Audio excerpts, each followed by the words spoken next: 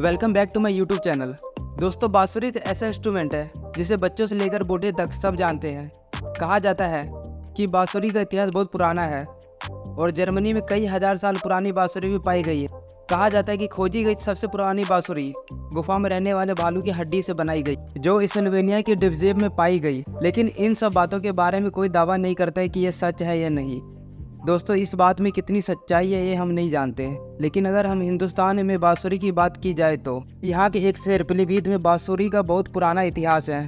तो आज हम हैं हिंदुस्तान के सूबा के शहर पीलीभीत में जो बांसुरी बनाने के लिए फ़ेमस है। यहाँ की बांसुरी हिंदुस्तान में ही नहीं, विदेश में भी फ़ेमस है। दोस्तों, करीब 10 साल पहले तक यहाँ लगभग 500 परिवारें बांसुरी बनाते थे, जो अब घटकर लगभग 100 ही रह गए। यहाँ के एक बांसुरी मेकर ने 16 फीट लंबी बांसुरी बनाकर रिकॉर्ड बनाया था और यहाँ के शमशाद अहमद साहब को बांसुरी के लिए कई अवार्ड मिल चुके हैं। इस सिलसिले में हम एक बांसुरी मेकर के कारखाने में आए हैं। जो शहर का एक बड़ा बाँसुरी कारखाना माना जाता है। आइए जानते हैं कि कैसे बाँसुरी को बनाया जाता है और कितने तरह की बांसुरी होती है। अभी हमारे साथ यहाँ के ओनर मिस्टर अरमान साहब है। तो अरमान साहब बहुत बहुत स्वागत है हमारे इस चैनल पर। कृपया पहले आप अपने कारखाने और इस काम के बारे में बताएँ। देखिए मेरी कंपनी का नाम है नबी एंशंस और मेरा काम कम से कम डेढ़ सौ साल पुराना है मेरे परदादा जी के टाइम से। अच्छा। और इसको अब मैं संभाल रहा हूँ पिछले सात आठ साल से। जी। और ये मेरा जो काम है ये मतलब ये समझ लीजिए आपके पूरे all over India all over world में फैला हुआ है। सभी जगह यहाँ से बांसुरी मेरे सप्लाई करता हूँ मैं। जी। और काफ़ी क्वांटिटी में जो है मेरे पास से माल जाता है लोगों का। ये जो माल है बाँस कहाँ से आता है? ये बाँस आता है असम के सिलचर से। ये बेस फ्लूट का बाँस है। इससे हमारे ये सभी बेस फ्लूट बनती हैं जैसे ई बेस है सी शार्प बेस है। सी बेस है डी बेस है डी शार्प बेस है। अच्छा। सारी बेस फ्लूट जितनी भी होती हैं वो इस बाँस से बनती हैं अलग अलग साइज़ में अलग अलग उनके डायमीटर कितने टाइप के फ्लूट आपके पास बनते हैं? देखिए हमारे पास तो ऑलमोस्ट हंड्रेड प्लस वेराइटीज है फ्लूट्स की जो अभी करेंटली हमारे पास मौजूद है। हंड्रेड से ऊपर? हंड्रेड से ऊपर और हम सभी तरीके की मतलब फ्लूट बनाते हैं कस्टमर की कस्टमाइजेशन होती हैं हम उस पर भी बांसुरी बना बात जब आती है सुर वाली बांसुरी की तो इंसान हमारी कंपनी को ही याद करता है नबी एंशंस और आज से इन्हीं सालों से हमारा माल जो है सब वेल ट्यून ही जाता है और वेल ट्यून ही फ्लूट्स हम लोग बनाते हैं। अच्छा और भी हमारे पास जनरल फ्लूट्स भी मिल जाती हैं एक्रेलिक फ्लूट्स भी मिल जाती हैं बेस फ्लूट मिडल फ्लूट अच्छा तो वो वो बांसुरी आप दिखा सकते हैं? आपके पास सैंपल है। इसका हम राउंड बाम्बू निकालते हैं पूरा। जिससे एक परफेक्ट हमारी बांसुरी बने। तो अच्छा। इसके लिए बहुत सारे ऐसे काम होते हैं बांसुरी में। और एक गोदाम है। मैं ये मेरा एक गोदाम है ये मेरा बेस फ्लूट का गोदाम है बेसिकली अच्छा अच्छा। सारा बेस का माल जो है स्टॉक है अभी। चलिए आगे चलते हैं और देखते हैं। और यहाँ है दूसरा गोदाम जहाँ पर बांसुरी बनाने के लिए माल रखा गया है। पीवीसी पाइप पीवीसी पाइप बोलते हैं उसकी फ्लूट बनती है इसकी भी बांसुरी बनाई जाती है। ठीक है। और यहाँ पर प्लास्टिक की भी बांसुरी बनाई जाती है। बांसुरी तो बनती है और ये है तीसरा गोदाम। यहाँ पर काफ़ी सारी गोदामें हैं तो काफ़ी बड़ा काम है। बांसुरियों का काफ़ी बड़ी बांसुरी है ये।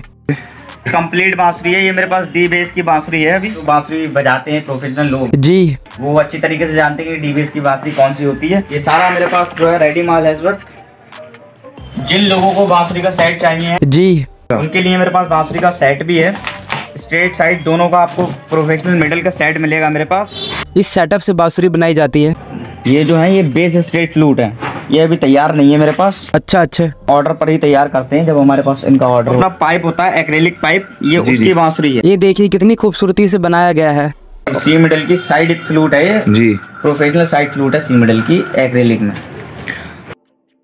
और यह मिस्टर शमशाद अहमद साहब जो फिलीपीन शहर के मशहूर बांसुरी वादक है।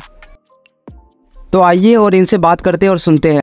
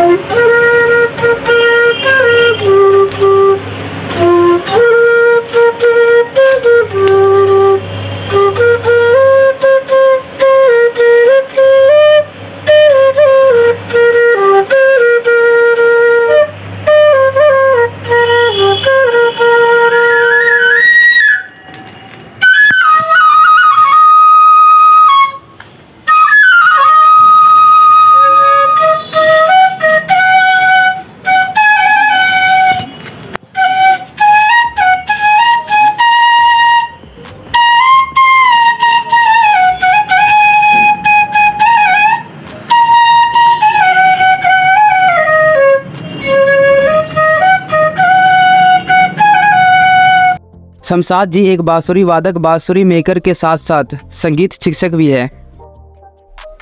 तो आप संगीत की शिक्षा भी देते हैं स्टूडेंट को?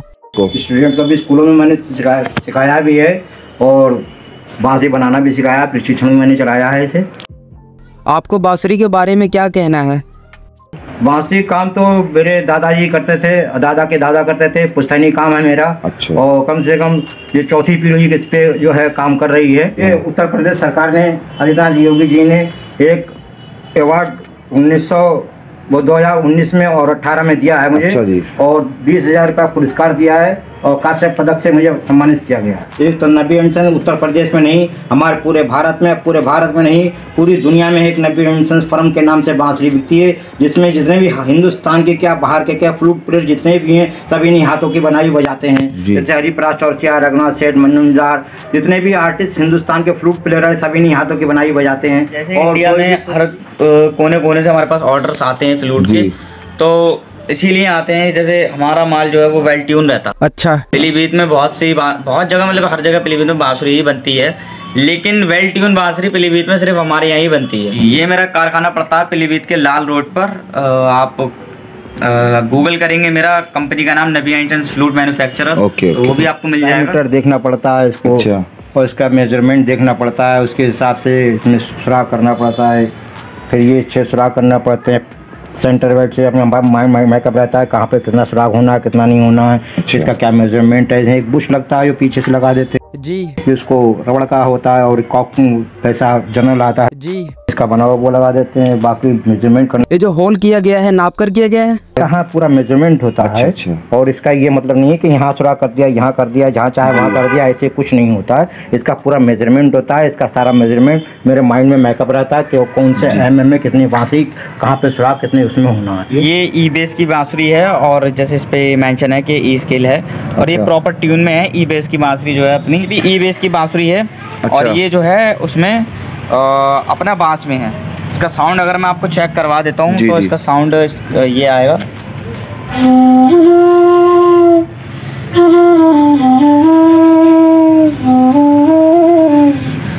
बांसुरी पे लिखा है ई बेस इन बांसुरी की लंबाई होगी तीस इंच। से अपने अपने पास मिलेगी आपको चवालीस इंच तक की बांसुरी मिलेगी।